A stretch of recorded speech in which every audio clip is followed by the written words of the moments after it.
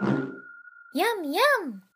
Floyd here with a quick look at a composite output AOV layer mask in Octane for Modo. In this example, I have a composite output AOV layer with its input set to beauty that's being color corrected with a color correction output AOV node. If I connect it to the composite output AOV node, all items are affected by the color correction. If I only want to affect the ball's color, I'll start by creating a custom AOV for the ball's material, then add a custom AOV render node, and make sure that the ID attribute matches the custom AOV ID I set for the ball material.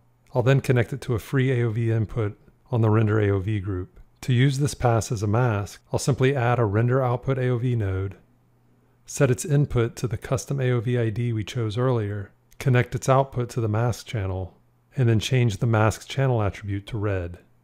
Use this setup to mask composite output AOV layers in Octane. Oh, look at the time.